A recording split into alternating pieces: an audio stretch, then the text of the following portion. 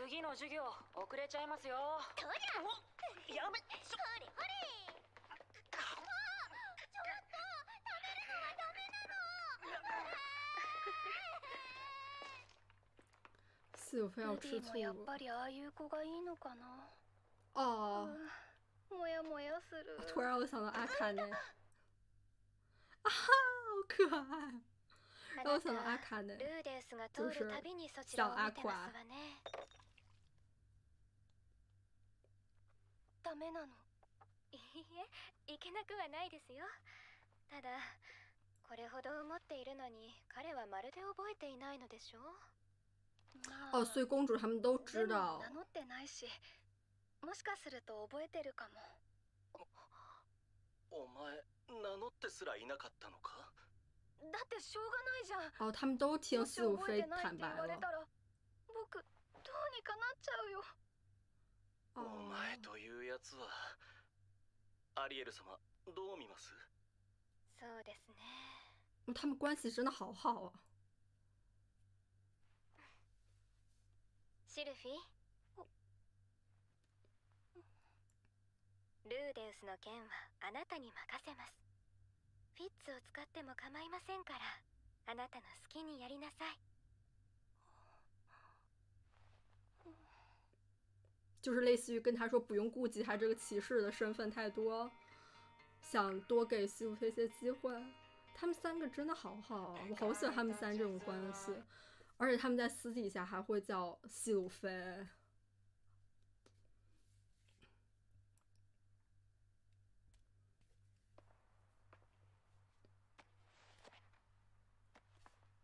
転移事件について調べれば調べるほど 転移と召喚が似ていることに気づいた。呼び寄せるのと送り出す。那不会就是跟转生？会转生像是吗？しかし決定的に違う部分がある。それは人間は召喚できないということ。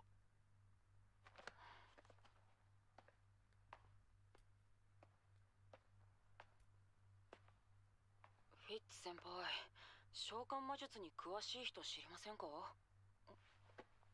フィッツ先輩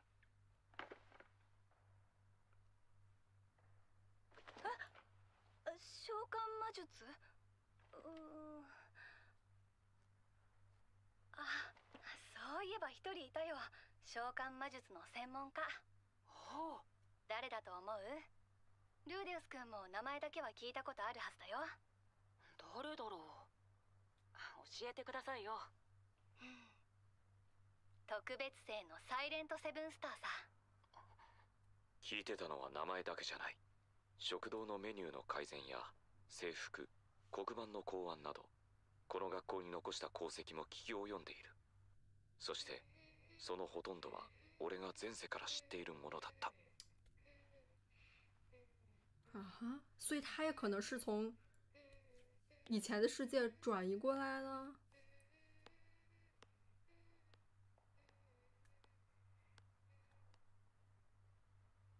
わかりました。じゃあ会ってみます。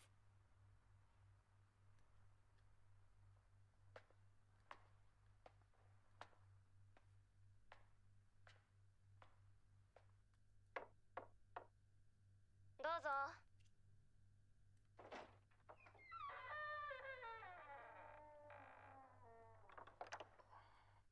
他有自己专属的一个学习区。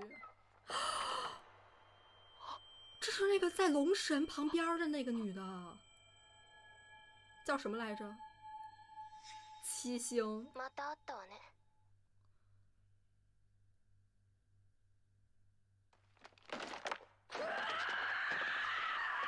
我、天！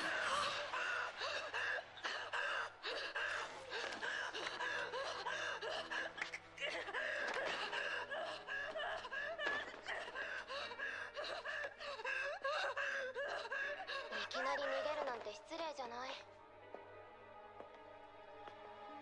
这对于鲁迪真的就是一个巨哇！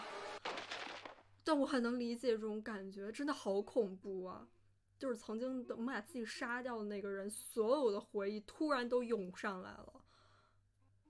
柔らかい優しい手だなんだか懐かしい啊， シ Ne boza zehin ekoki binera. İrakyabaki bro. Ebesaybanlı pajirakabaki ya. Kusakyapan bayıp.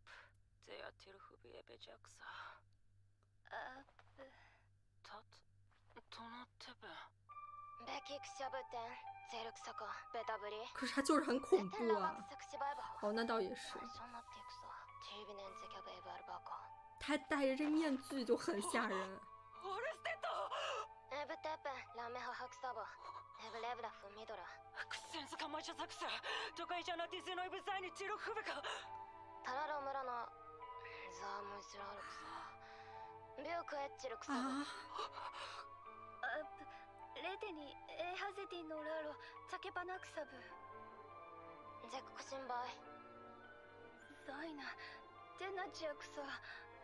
ベクエビンベヌマボキャベンクサブテケンジェブサイノゼヤティルブラエババフ西部飞都不知道。タライークエブヌイネブメンフジャフテペンゼック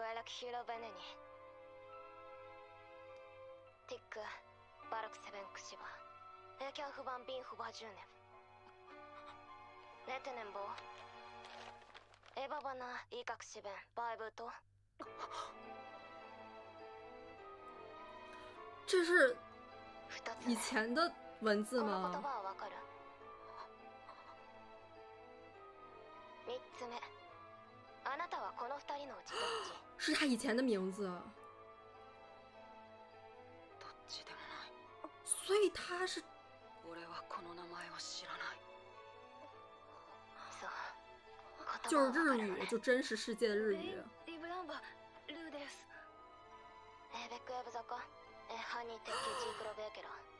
那他就是从以前的世界转生过来的。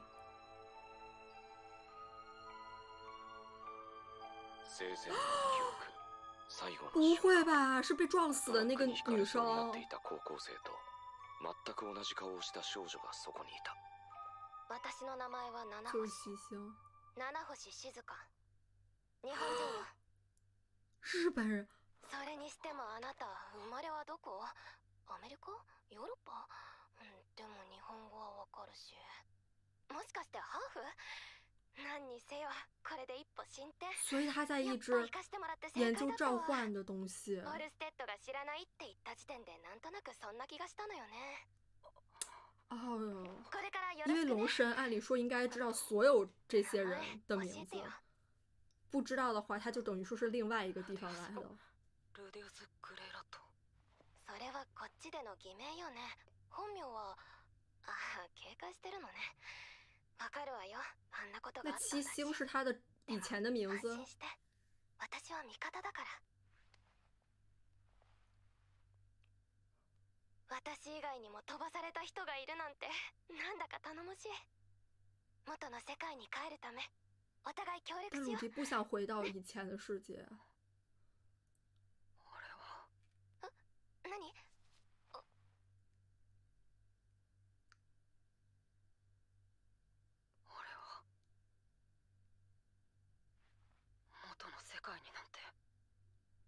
たくない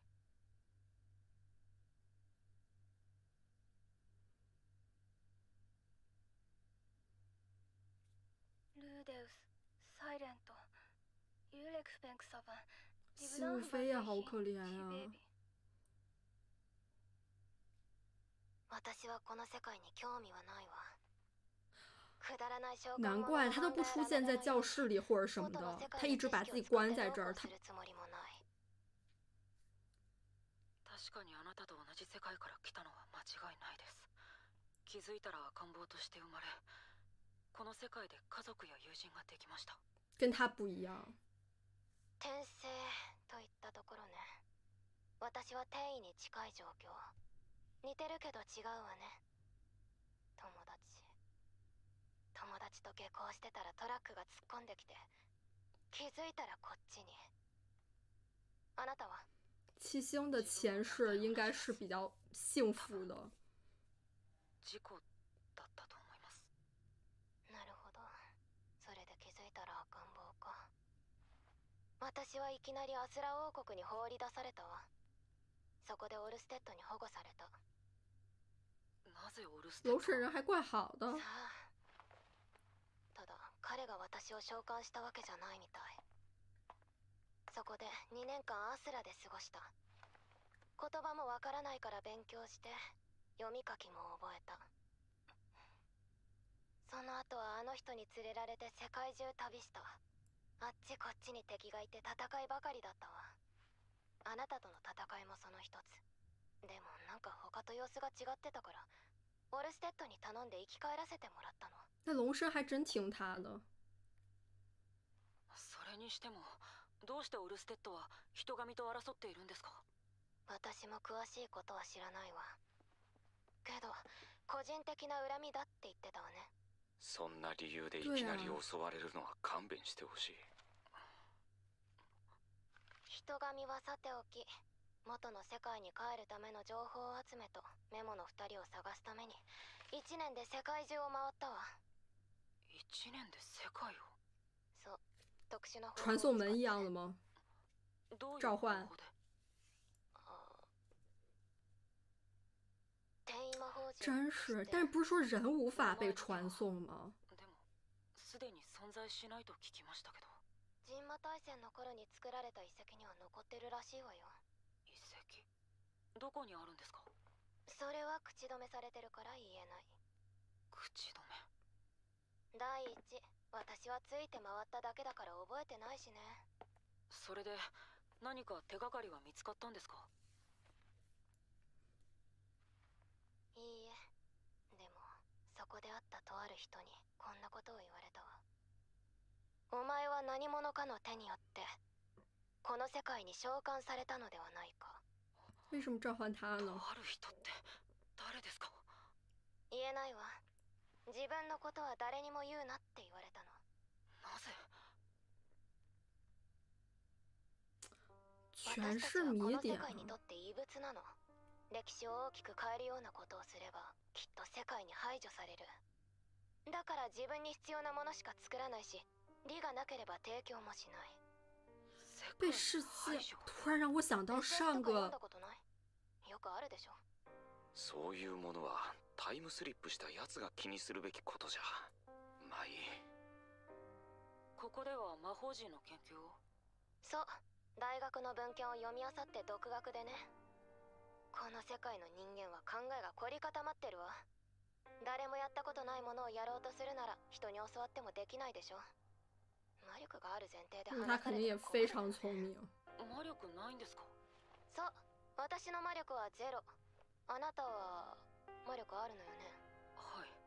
転生と転移の違いかもね。ちなみにこの世界ではあらゆるものに魔力が宿ってるそうよ。そこらの死体でもね。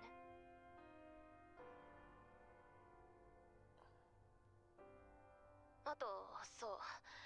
これもあなたに当てはまらないのかしら。私この世界に来て5年くらいなんだけど年を取らないみたい他还は不是跟鲁迪同时的，まあ知らない土地で老け衰えていくよりはマシでしょうね。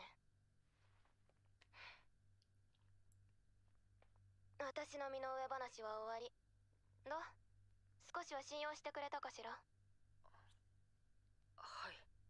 じゃあ取引をしましょう。私は魔力がないし戦う術も持たない多分不老だけど不死じゃないわ。ええ。私はこの世界が嫌い。現実味がないしご飯は美味しくない。倫理観はおかしいし不便だし。元の世界に残してきた人もいる。あなたはどう？完全不一样。僕はこの世界が好きです。帰りたくありません元の世界に残してきたものとかないの？何の未練もありません。已经下定决心在这个世界好好生活。そう。大往生だったのね。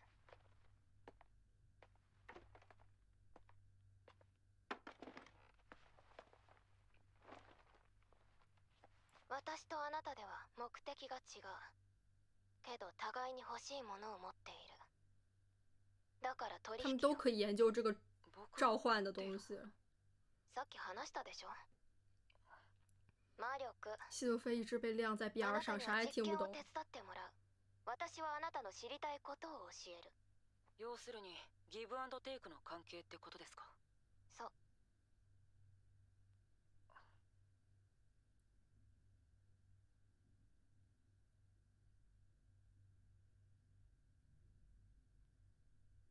わかりました。では協力しましょう。そうありがとう。先に言っておくけど後になってやっぱりやめたはなしね。男に二言はありません。そういう日本の言葉を聞く觉得很亲切。じゃあ差し当たって何か知りたいことはある？転移事件について調べてるって聞いたけど。誰から聞いたんですか？ベクベクベカフさラジアキザ・カーブタイプエヴァン・ボシュ七星さんここからはこっちの言葉で分かったわ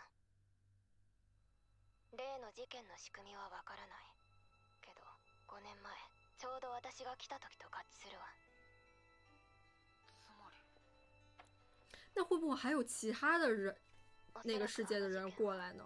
その時の反動で起こったも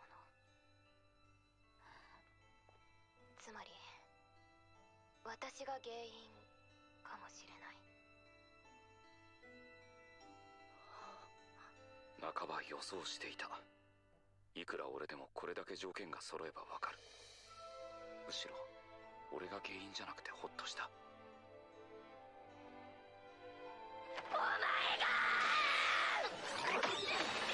他不是没有魔力吗？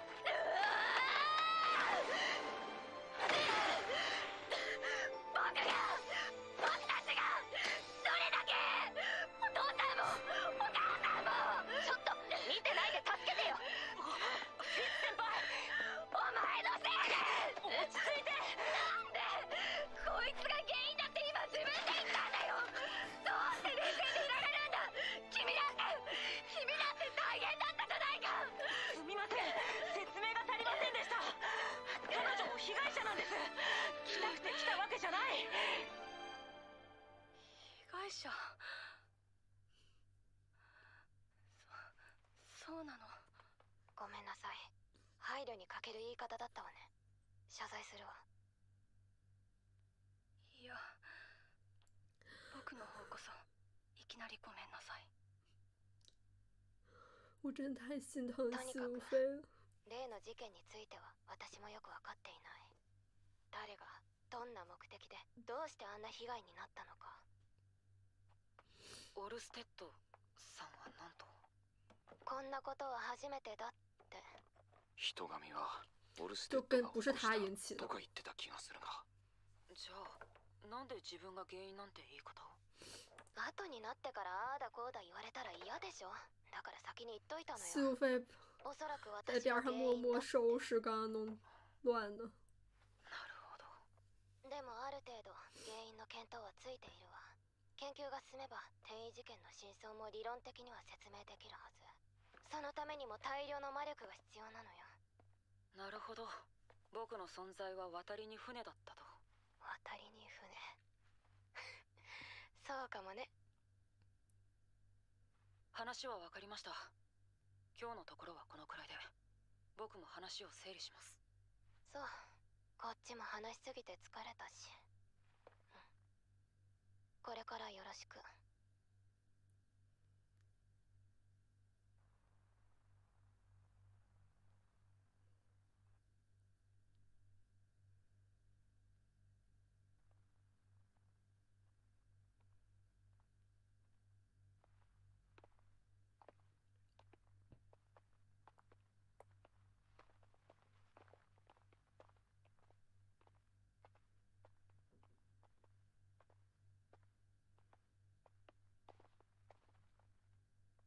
デウス君は彼女のことどう思ってるの？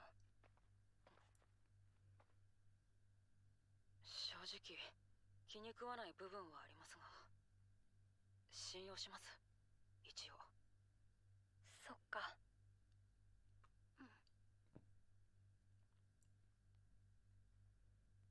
うんならいいんだ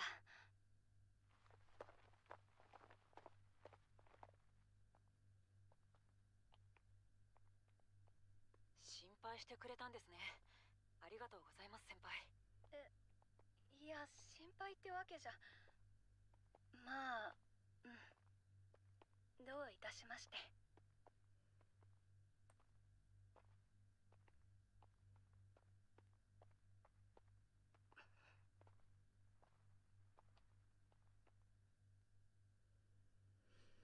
这集开头的时候，我很喜欢，就是他们三个人，公主和陆克和西鲁菲他们的这个关系。公主和陆克都是非常非常宠西鲁菲的那种感觉，还是很乐意去帮忙的。而他们都也听说了西鲁菲跟鲁迪的事情，陆克可能也是因为这个，所以之前对鲁迪有一些那么个神气的感觉。但那个不爽也不算是无由来的吧。羡慕他们三个人之间的这种羁绊，他们也确实能看得出来，西鲁菲其实被保护的还挺好的。这集这个七星的出现真的是完全意想不到。鲁迪一看到他那一袭黑发，还有那面具的一刹那，马上就是一个尖叫，加上这想要呕吐的这些反应，真的很真实的应激反应了。虽然鲁迪现在已经魔力超强，甚至可以打败那个魔王。但是看到七星的第一反应仍然是要赶紧逃跑，真的能看出之前龙神跟他那件事情所给他带来的一种心理阴影和无法磨灭的那种恐惧感。我之前还以为他戴那个白色面具是有什么可能是封印一些可怕的能力之类的。这么看的话，可能就是为了遮住他这个日本人的脸之类的。虽然其实也看不太出来吧，在这个世界。而且其实无职演了这么长一段了，但是其实一直没有说明一些，比如说鲁迪他为什么会被转生，或者说是其他人有没有类似的状况。在这个节点突然出现了一个像七星这样的，也是像鲁迪来自就是曾经的日本这个世界，这真的是给这个剧情带来了很多其他的这个可能性。尤其是他跟鲁迪完全是截然不同两种情况。对于七星来说，这个转移完全是灾难性的；而对于鲁迪，他的这个转生其实是给了他第二次重生、重新来来过的机会。也难怪七星一直把自己就是关在这个类似于研究的地方，而没有去真正的享受，比如说校园生活呀，或者说这个世界的其他的地方。他自从降落到这里，目标就一直很明确。其实现在给人感觉也是有点冷酷无。虽然他救了鲁迪，当时让龙神不要杀他，然后治好了鲁迪，但是他的这个目的性也是非常强的。感觉他所有做的事情都是基于他这个利己，或者说他的这个目标。他看上去也不屑于跟这个世界其他的人交好，或者说有什么深度的往来。不像鲁迪，不仅是跟这个世界很多人都建立了深度的这个羁绊，而且鲁迪是真正在这个世界经历过很多事情，到过很多地方，并且是真实的在生活的。整件事情其实还是有非常多谜点。首先，为什么会选择鲁迪来转生？然而，为什么七星是转移的？虽然七星转移可能跟那个魔法灾难有关，那会不会有其他人也转移到了这个世界？比如说七星写下那两个名字，这样看的话，转移过来的人都是跟鲁迪当时死掉的那个世界是相关联的。如果我没记错的话，就是在。第一集最开始的时候，鲁迪当时是被卡车给撞死了，然后当时还说有两名高中生也是被卡车撞了，但是消失了，失踪了。但一共是三个人，两男一女，但是当时没有消失的，其中有个是男的，所以应该是七星和另外一个他的男同学两个人失踪，就是被转移了。如果另外那个男同学不是像鲁迪一样转生了的话，那应该也是跟七星一样是被这个魔法灾难转移到这个世界啊。所以按理说，鲁迪现在在的这个世界应该有加上他三个人都是日本来的。我原本以为就是七星他那个纸条上那些写的俩名字就是他那两个朋友，但是这么看的话，可能也不是，因为就只有他一个其中的朋友也转移过来了。我也在想，西鲁飞会不会也有所就是察觉呢？毕竟他说自己跟鲁迪类似于来自同一个故乡，但是西鲁飞是鲁迪从小的玩伴，肯定是从来没有见过七星的。那七星跟鲁迪是在什么情况下是同一个故乡呢？七星也说会不会是有人把鲁迪这样召唤过来？我脑海里第一个想到的就是人神，应该就是人神把鲁迪召唤过来的吧？他是有他的目的的。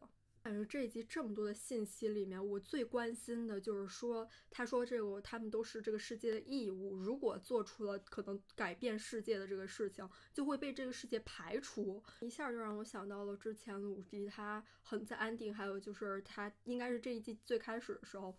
很多呈现的画面都展示的是他在窗户里边，好像已经是跟其他的外界已经是被隔离开的。包括之前的安定，不是也是他跟瑞杰、路德和爱丽丝，他是被挖空的感觉，就是他仿佛他已经被抽离出来了，已经不属于他们这个身边真实存在的一个人了。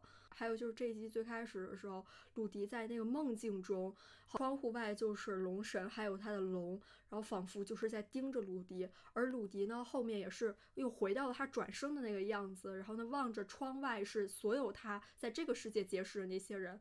但好像大家都已经不认识他了。既然他们是这个世界的异类，为什么要把他们召唤过来呢？为什么要做出这种肯定会打破这个世界自然规律的事情？按照鲁迪作为主角的这个发展，我觉得他肯定会做出一些改变这个世界的事情，包括他这个魔力都已经是高于拉普拉斯的那个级别了。这样的一号人物，很难想他不会对这个世界造成一些历史性的改变。然后看七星，他应该是戴的那个戒指，是等于说可以发出这种保护罩，但是他其实没有魔力，就没法召唤出什么东西。但是他是在说出自己是这个转移事件的起因的之前戴上这个戒指，就好像是料到了有人会这样冲他大打出手似的。季武飞直接冲上去这一段，我真的看着非常的虐心。而且包括他不仅在担心他自己，他也是在担忧鲁迪，心疼鲁迪的遭遇。嗯，不只是苏路飞，非常多的人都是这件事件的受害者，大家都是经历了一些失去。不得不说，七星这样提前戴好戒指，真的有点让我想到近距离亚尼最开始也戴着那个戒指，就是好像已经预料到这个有阴谋，然后在识破之后，直接就是把自己巨人化的。七星说：“这个转移事件可能是当时发生那件事情引发的反作用力产生的，所以说整个这些魔力还有这些灾难的起始点都还是回到了鲁迪他们当时发生那个车祸。总感觉一切都好像是被因果串联了起来。但是两个世界为什么会相互影响呢？在日本发生的事情的反作用力作用到了鲁迪他们在这个异世界。”奇景转移过来，完全就是不会变老，感觉像是永生的这么一个状态，就更加的奇怪了。为什么要让这样子的一个异物存在在这个异世界里呢？很期待这集出现这些谜团，能在未来找到一些答案。那这期视频到这结束了，我们下期见，拜拜。